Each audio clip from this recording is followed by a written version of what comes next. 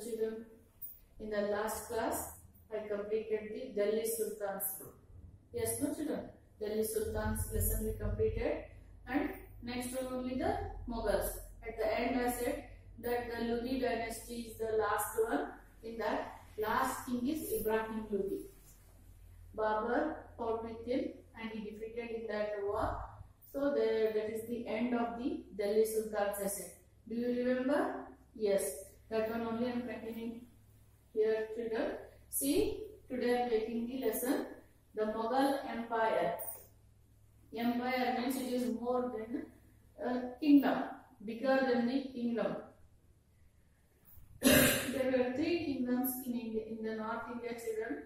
That is Maurya Empire, Gupta Empire, and the third one is the Mughal Empire. These were the very big kingdoms, empire they are called. So in the south part means Vijayanagar Empire. Like this, uh, only few were the empires. Otherwise, many were small kingdoms. Ibrahim Lodi, the last ruler of the Delhi Sultans. That that one, that is Ibrahim Lodi. Here I wrote, and the Babur. They fought the war in the Panipat. That is a place named children Panipat. they fought the battle. In that, this Ibrahim Lodi was defeated. So that is the end of the Delhi Sultan's rule and the Babar rule started in India. He conquered the Delhi. So he Babar rule started. Babar he founded the Mughal Empire. So Babar is the founder it is. He uh, are here founder of Mughal Empire. Founded also you can write. Babur founded the Mughal Empire also you can write. Okay. See, Babur is the founder of the Mughal Empire. Who is he? He is a king of one place named Kabul. There, it is a small kingdom. Kabul is a small kingdom in Afghanistan. There he is a king. When he know the prosperity of India, when he came to know about the wealth of India, then he started searching the opportunity to attack on India. That time he came to know the news that even Delhi Sultans also fighting in between for the power. All the dynasties were fighting for the power children while teaching Delhi Sultans I told this slave dynasty, Khilji dynasty, Tughlaq dynasty. In between them only they are fighting for the power. And always it happens children. If two are fighting, the third one will gain. So when in between them, because you are fighting means there will be no unity. No unity means no strength. So taking this opportunity only, when Delhi Sultans were fighting for in between for the power, he taken that opportunity only and he attacked on uh, Babur, so Ibrahim Lodi, and he defeated him. Then he taken Delhi, established the Mughal Empire. Like this way, Mughals rule started in India.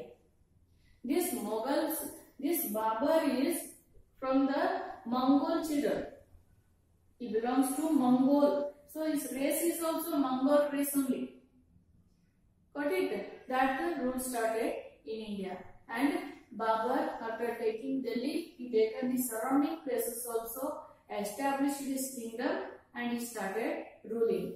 One more, uh, one of the achievement of the uh, contribution of the Babur is he introduced rose flower children, rose flower to India.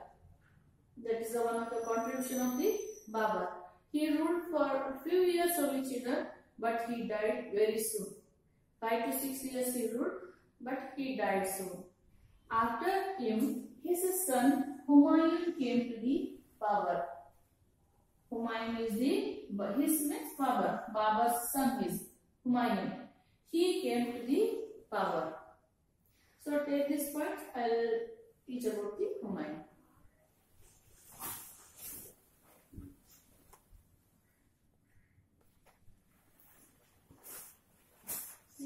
Humayun, Babur's son is, Babur died within a few years. So afterwards his son came to the power. He started ruling. He was ruling very well, children. Uh, he extended the kingdom also. But always there is opposition for the Mughal rule by the Rajputs and the Afghans. Some Afghans also were there in India. So they were opposing the Mughals rule.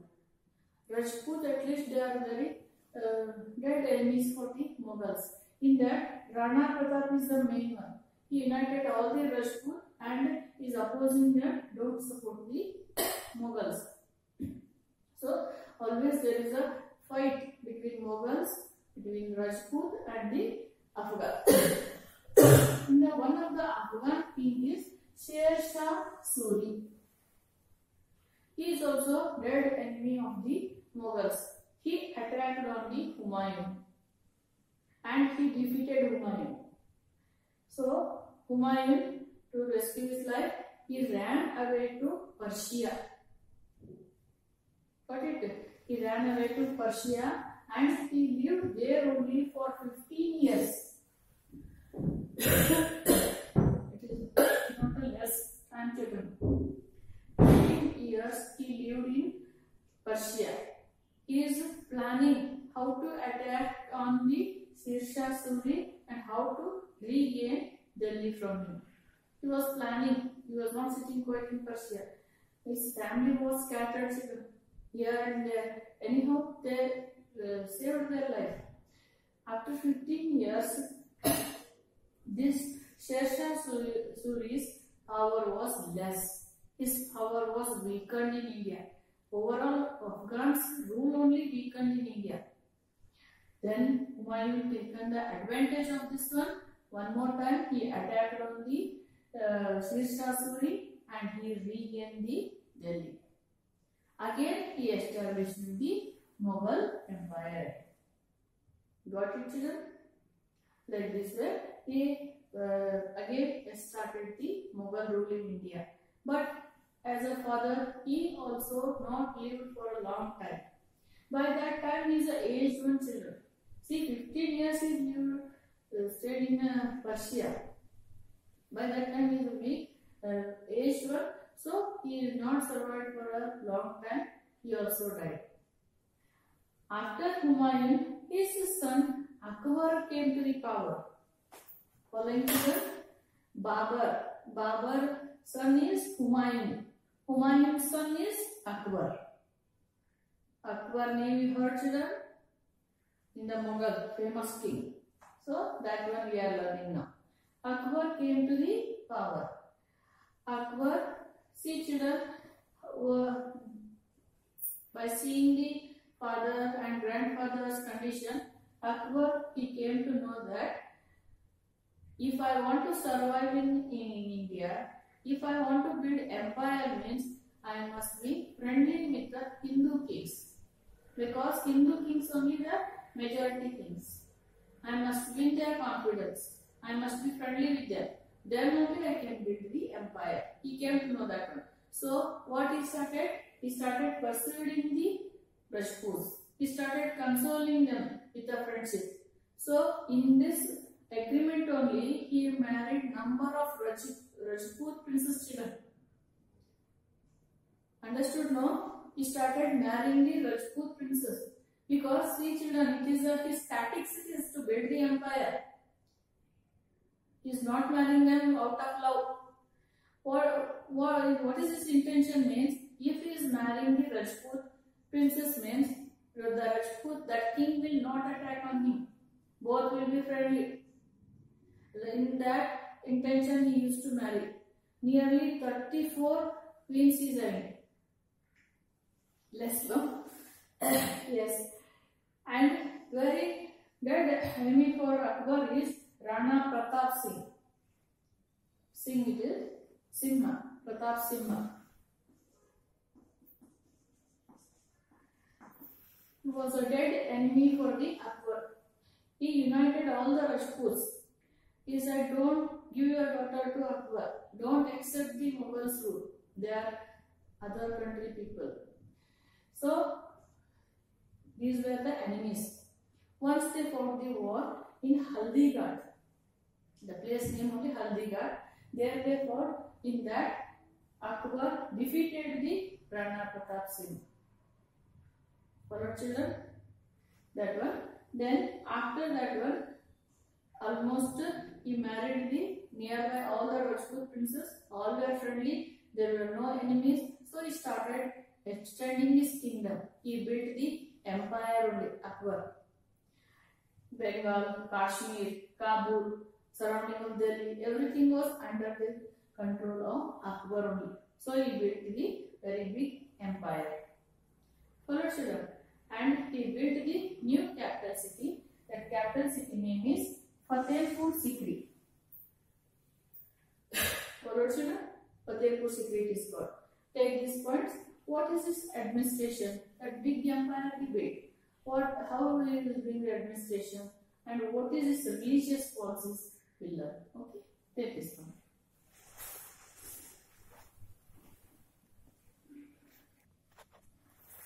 Yes, Akbar's achievements, children. See, good quality, qualities of good king. I wrote on the board. See, children, Humayun ran away to Persia. That time his family was scattered as said. Akbar was in Hindustan only. He is in India only.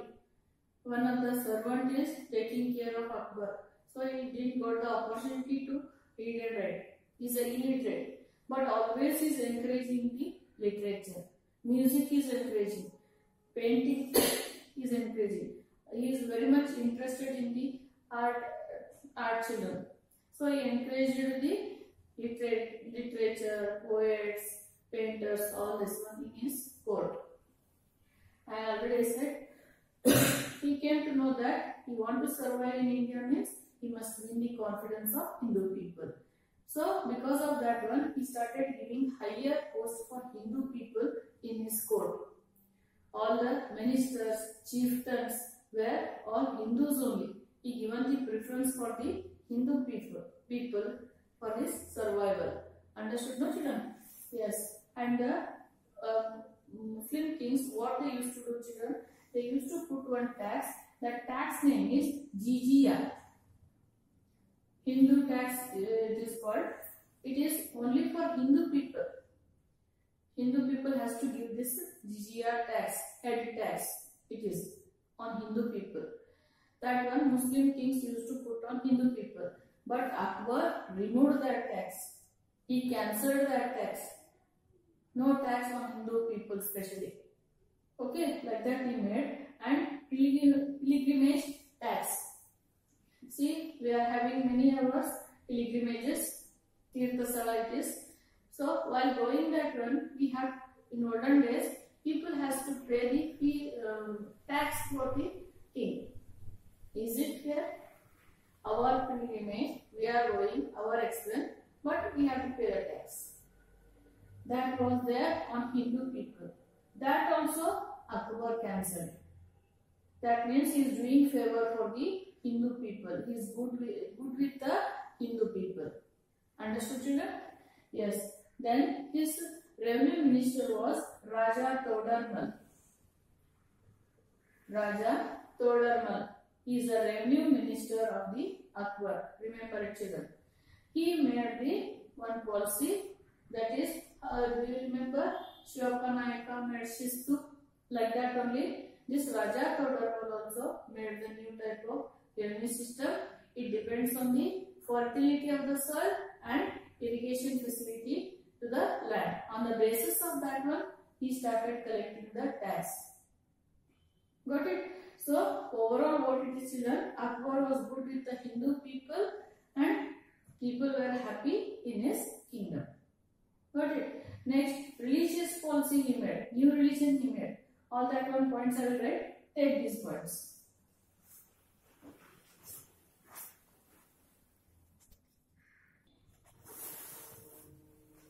Yes. See children, I said he built one new capital. That name is Fatehpur Sikri.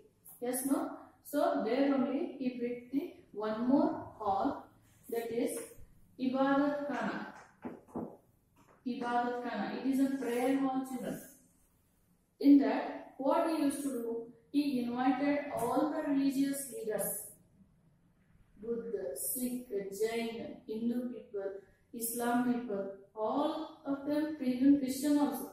He invited all the types of religious leaders to discuss the matters of religions. All the religion, or in that religion, what special things they are having, what are the principles of their uh, religion. Like this, they used to sit and discuss in this Ibadat Khana. Then, after uh, discussion of all the religious uh, leaders, he taken out the good principles from the all the religions. Whatever good things are there, good principles are there, morals are there, that one he taken from the other religions. And he created the new religion. That new religion name is Din-e-Ilahi. Religion it is written. It is a religion. That one he created, new religion. It is a mixture of all the religion. So, he invited the people, if you want, you can accept this religion, Din-e-Ilahi. But people were not given support for this. Because, see children, our religion is in our blood. If anyone say, change your religion, the religion is not good, this one is good. Like this, if anyone says, means we will not accept. It is in our blood only. So, only few people were accepted this Din-e-Ilahi and many were not supported for this one. So, it is fair. What it? This is about his religious policy. Already I said, even though he is illiterate, he is giving encouragement for the literature. This Faizi and Fazal, they were writing the books, historians written there. He used to encourage that one. Huh? Then Birbal, he was in his court only. Tansen, famous singer, he is also in the court of Akbar. Like this way, he was giving encouragement for the all the types of art and culture. This is all about the Akbar. So the Mughal architecture and all it is combined, is there in the last that time we study. Up to, uh, uh, up to Akbar's rule I explained to them. After this one, Jahangir and Shahjahan came to the power. That one I will take in the next class. What it? Today, Mughal Empire, how it started? Uh, about the Babur, Humayun and Akbar I explained. Yes, no children? So this much you learn for today. In the next class I will take the uh, successors of the Akbar. That is Shahjahan, Jahangir all are there. Okay? And their architecture also. Very marvelous architecture, remarkable in history. Such architecture they gifted to us children. That one we learn. Okay? Take uh, this point, I'll write the homework.